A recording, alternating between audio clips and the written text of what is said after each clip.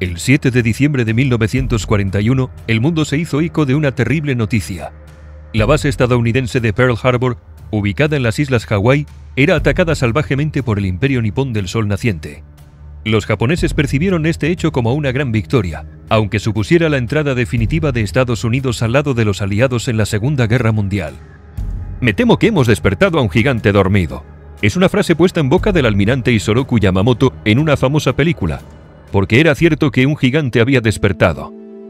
En la segunda mitad del siglo XIX, el imperio japonés dio un manotazo en el tablero geopolítico mundial.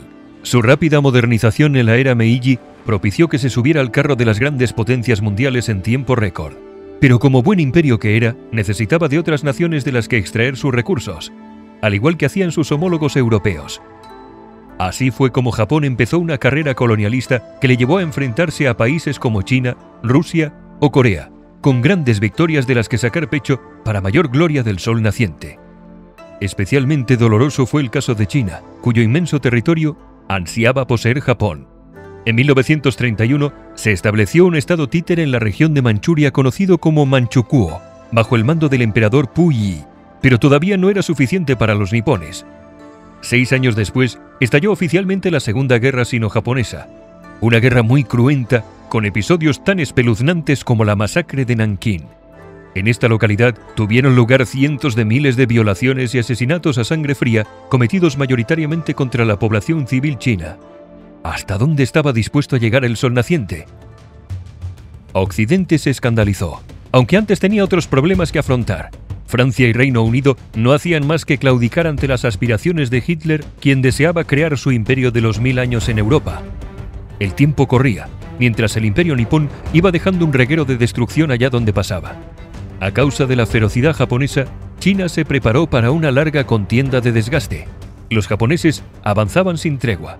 En septiembre de 1940, la Indochina francesa quedó bajo el control del sol naciente. Por estas mismas fechas, Japón se unió al pacto tripartito junto con Alemania e Italia. Al otro lado del Pacífico, no veían con buenos ojos todas estas acciones. Había llegado el momento de cortarle las alas al agresor asiático. En verano de 1941, Estados Unidos decidió suspender las exportaciones de petróleo a Japón, a ver si de esa manera se le quitaban las ganas de seguir rapiñando Asia. Un serio revés para los planes del imperio nipón. Sin el ansiado oro negro, tendrían que poner fin a su sueño de crear la esfera de la coprosperidad de la Gran Asia Oriental. ¿O no? Pues el almirante Yamamoto había ideado un ataque sorpresa a la Marina estadounidense estacionada en el Pacífico, su objetivo era impedir su interferencia en la conquista del sudeste asiático y en la obtención de sus valiosas materias primas, además de asestar un duro golpe a su orgullo hundiendo sus acorazados. Pero, ¿habían calculado bien los japoneses?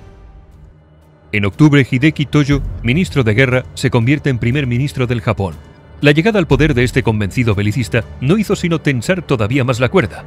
Japón no estaba dispuesto a dejarse avasallar por nadie, ni siquiera por los estadounidenses quienes le exigían detener su vorágine conquistadora.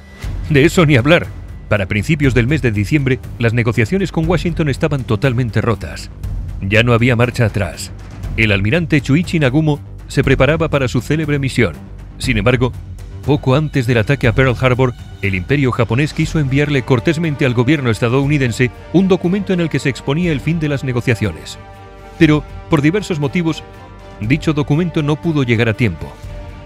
La flota combinada japonesa ya tenía preparada una vasta flota compuesta por seis portaaviones acompañados por acorazados, destructores, submarinos y otras naves.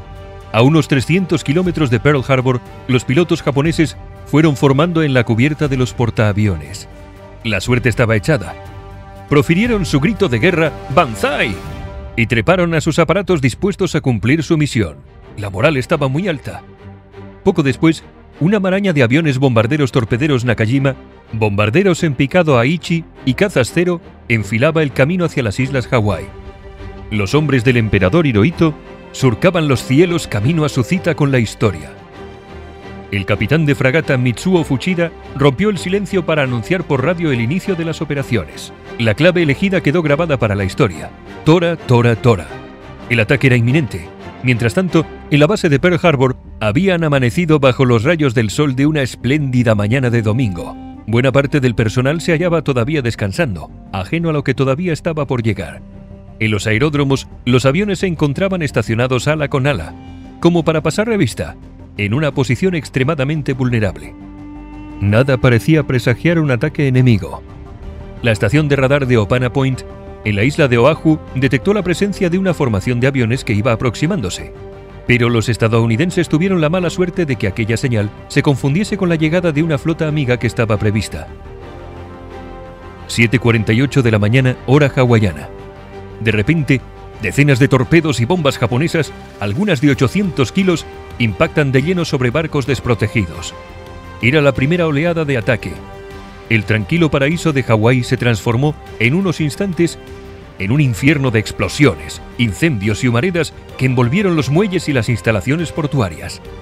Algunos marineros no tuvieron siquiera tiempo de despertarse antes de ser alcanzados por las llamas. ¡Nos atacan! ¡Prepárense para el combate! ¡No es un ejercicio! ¡A sus puestos! Gritaron desesperados los oficiales. Todavía sorprendidos por el brusco devenir de los acontecimientos, los estadounidenses apenas pudieron reaccionar frente a la embestida japonesa. El puerto de Pearl Harbor se había convertido en un mar de fuego donde ardían toneladas de aceite. Una bomba perforante alcanzó el acorazado USS Arizona, con tan mala fortuna que produjo el estallido de la Santa Bárbara. La fatídica explosión se llevó por delante la vida de más de mil hombres. Pero todavía no había acabado la pesadilla, una segunda oleada inició su bombardeo. Más proyectiles se abatieron sobre aeródromos y objetivos secundarios, mientras que los cazas cero disparaban a todo lo que se movía.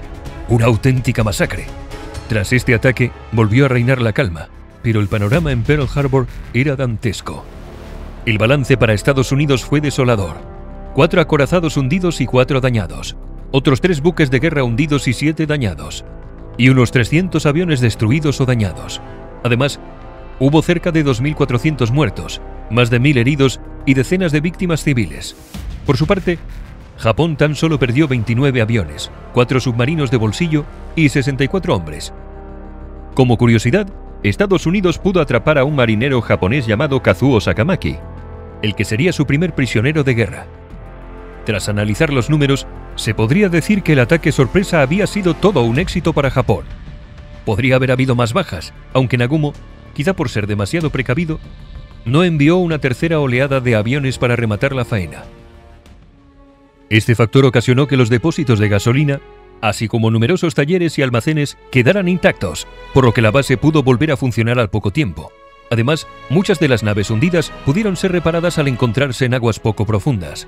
Por otro lado, las unidades más modernas de la flota estadounidense, los portaaviones USS Lexington, USS Saratoga y USS Enterprise, se salvaron milagrosamente al no encontrarse en Pearl Harbor en el momento del ataque.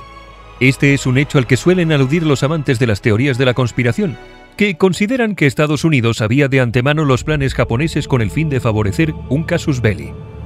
Japón no se detuvo en Pearl Harbor, sino que poco tiempo después lanzó más ataques sobre Filipinas, las islas de Guam y de Wake, Tailandia y las colonias británicas de Hong Kong, Malasia y Singapur. El 8 de diciembre de 1941, el presidente Franklin Delano Roosevelt compareció solemnemente ante el Congreso de Estados Unidos y declaró la guerra al imperio japonés. Para el veterano político y para el pueblo estadounidense, el 7 de diciembre de 1941 sería una fecha que vivirá en la infamia. Su venganza sería terrible, como bien había pronosticado el sabio Yamamoto. Según el sistema de alianzas establecido, Alemania, que apoyaba a Japón, inició las hostilidades contra el gigante americano el 11 de diciembre. Hitler había cometido otro grave error, de los muchos que ya coleccionaba en su larga lista. Ahora se las tendría que ver no solo con el Imperio Británico y la Unión Soviética, sino también con el poderoso músculo del tío Sam. La derrota de las potencias del eje era solo cuestión de tiempo, aunque muy pocos eran conscientes de ello.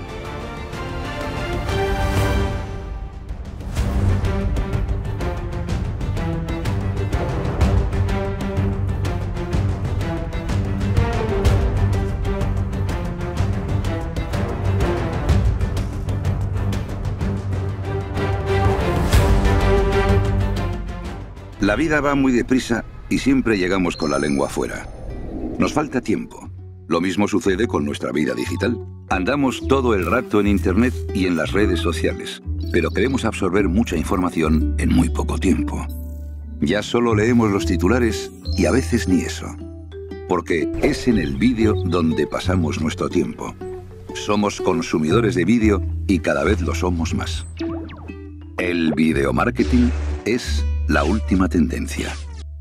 Dicen que un minuto de vídeo tiene el mismo valor que 1,8 millones de palabras. Además, las posibilidades de ser más visto, tanto en Google como en las redes sociales, se incrementan 53 veces con un buen vídeo. Y tus clientes pasarán algunos minutos más de media en tu web. Porque, ¿sabías que casi el 90% del tráfico en Internet es a través de vídeo? ¿Te ha quedado claro ya? Exacto, necesitas un vídeo. En Corporatia Play somos muy buenos en esto del video marketing.